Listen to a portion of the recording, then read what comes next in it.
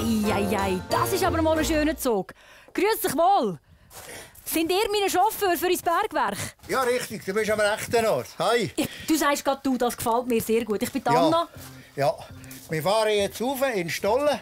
Und zwar fahren wir hier im Zickzackgleis. Wir haben kein Geld für einen Kehrtunnel machen.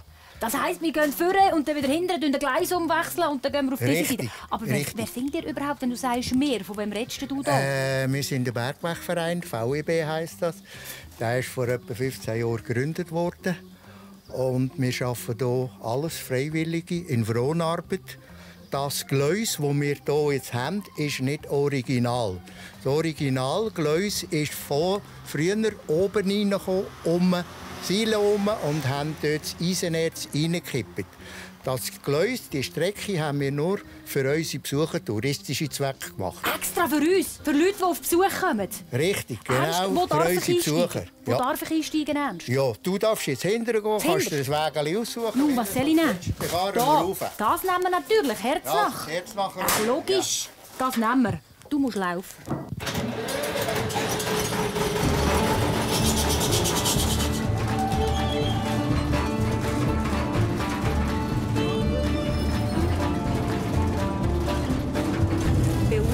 Gespannt auf den Stollen. Hure darf man sagen bei uns in Luzern, ist kein Schimpfwort. Ich sage euch, ich riskiere mein Leben bei auf Besuch. Uh, ich glaube, das ist Endstation. Gut.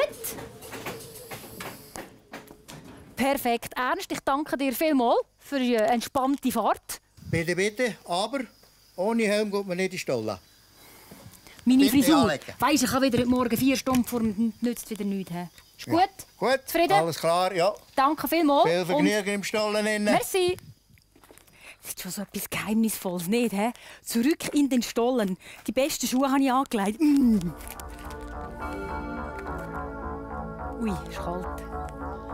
Hallo? Santa Barbara bendita,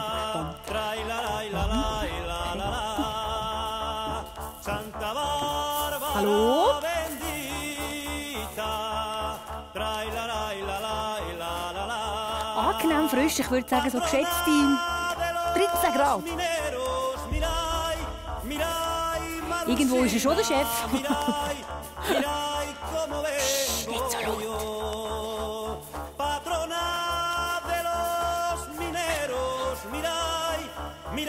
Ha, da, grüß dich. Hallo. Grüezi miteinander. Stefan, Servus. Es liegt ein Graben zwischen uns. Willkommen im Bergwerk. Danke vielmals. Jetzt sind wir wirklich mit drin. he? Genau. Du stehst auf einer Brücke, unten dran haben wir... Was wir ist da? unser Ammonitenboden, den ich gerade bestaune. Das ist ein Meeresboden, der 165 Millionen Jahre alt ist.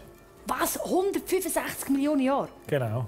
Wie, wie, wie kann man das feststellen? Nimmt man da Steinproben?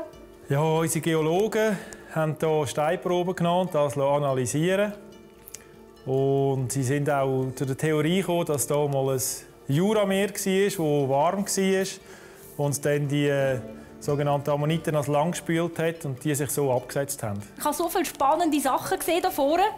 Treffen wir uns da vorne Gehen irgendwo? wir vorne. Geht das? Wieder alles retour. Da innen ist Erz abgedreht worden, gell? Genau, hier innen hat man Eisenerz abgebaut und vielleicht könnte ich euch auf dieser Tafel hier gerade schnell ein paar Punkte erzählen. Ja, sehr gerne. Darf Ich frage, für was braucht man Erz? Also weißt du, für die wie mich, die jetzt Ja. keinen Plan haben, Ja. was man mit Erz macht. Eisenerz ist ein Produkt, aus dem stellt man nachher äh, stellt man Eisen her. Also was ist das da? Das ist das Braune, das ihr hier seht. Die Okay. braune Schicht, die hier rund etwa 3 Meter hoch war, die hat man hier innen abgebaut. Das ist der Berg, wo wir jetzt hier sind, auf dieser Seite der Straße. Und hier hat man, hat man äh, 1937 bis 1967 Erz abgebaut. Wahnsinn. Aber da ist es nicht so hoch gewesen. Das ist... Für dich wäre es schwierig geworden, von der Größe her. Für mich wäre es schwierig geworden, wenn wir hier hinten schauen. Die Originalhöhe sehen wir dort hinten. Okay. Äh, ja, Ist, doch. ist etwa eins wie hoch? Etwa ungefähr so? keine 2 Meter, 1,80 oder so war die Originalhöhe. gewesen. Keine Platzangst. Darf man also keine Platzangst Nein, dann haben? hat man keine Platzangst haben.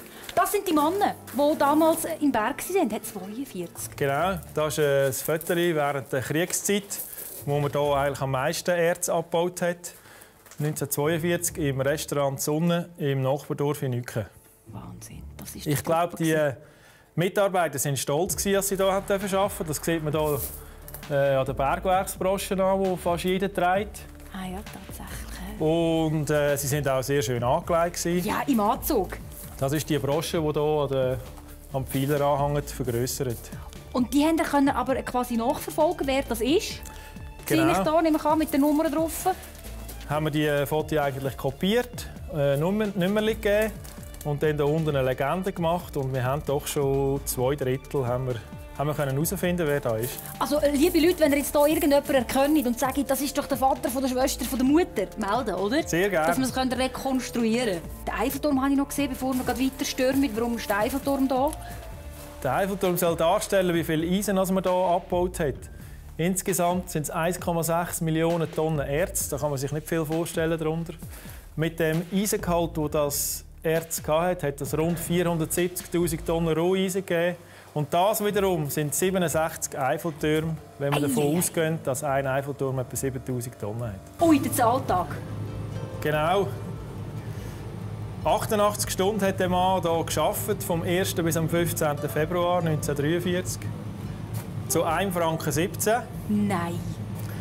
Äh, das mag jetzt wenig, nach wenig tönen, Ja. ist aber dazu mal ein guter Lohn gewesen. Wir haben ein bisschen recherchiert und haben herausgefunden, dass das im Vergleich zu anderen Berufen ein guter Lohn war. Ein Franken 17.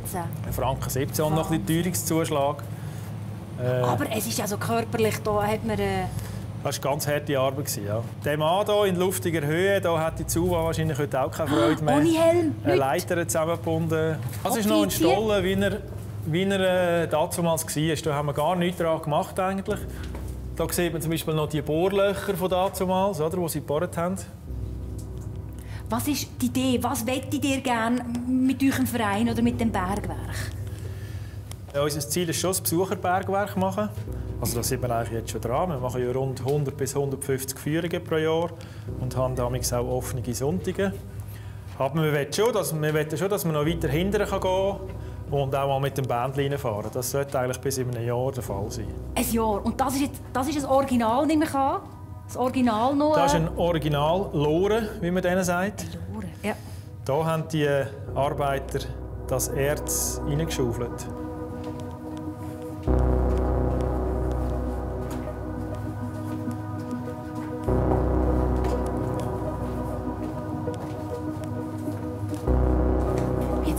Gefühl, es wird immer ein bisschen kühler. Täuscht das? Nein, es sollte überall gleich wirklich? sein, aber vielleicht hat man hier ein bisschen einen Zug, äh, dass äh, der Wind ein bisschen zieht. Da. Ui, dort ist das Sprengstofflager. Wird es jetzt gefährlich? Vorne ist ein kleines Räumchen, wo, äh, wo die Zünder drin waren. Und den Sprengstoff hat man separat lagern, dass er ja nicht in die Luft geht. Und der war hier drin. Okay. Oh wow, okay. So ein bisschen unheimlich ist es schon auch nicht. So Ja, das soll es auch sein. Ein bisschen, ein bisschen ein, Feeling soll man schon haben. Ja, ja. also das Feeling hat man definitiv. Das ist Geht in immer den so. Dorfbach rein. In Dorfbach. Und ist da besonders äh, frisches Wasser? Ja, vielleicht ein bisschen Eisenhaltung, aber ich denke, es ist sicher gutes Wasser. Stefan, danke vielmals, dass wir hier sein dürfen. Es gäbe noch so viel zu sehen, aber die Zeit drängt. Ich hänge meine Helm hier auf. Ich hoffe, das ist okay. Nein, gib dem mehr. So, Dann tun wir an ein anderes Ort hängen. Das, das ist ein Käsegestell. Wir haben immer noch eine Vision. äh, Es hat hier in der Region äh, Bauern, die einen lokalen Käse herstellen. Und die haben eine Vision, dass man den Käse mal hier lagern kann. Und vielleicht gibt es das einmal. Dass wir im Bergwerk innen Käse lagern, Genau. aus dem Fricktal. Was für eine schöne Idee, weil dann kommen wir definitiv wieder auf Besuch. Ja, ich sage danke vielmals fürs Zuschauen. Haben Sie ganz eine gute Zeit und nächsten Mittwoch wieder. Ich freue mich auf Sie. Bis dann. Ade miteinander. Auf Besuch. Freundlich unterstützt von der neuen Aargauer Bank. Der Aargau im Namen und im Herzen. Neue Aargauer Bank.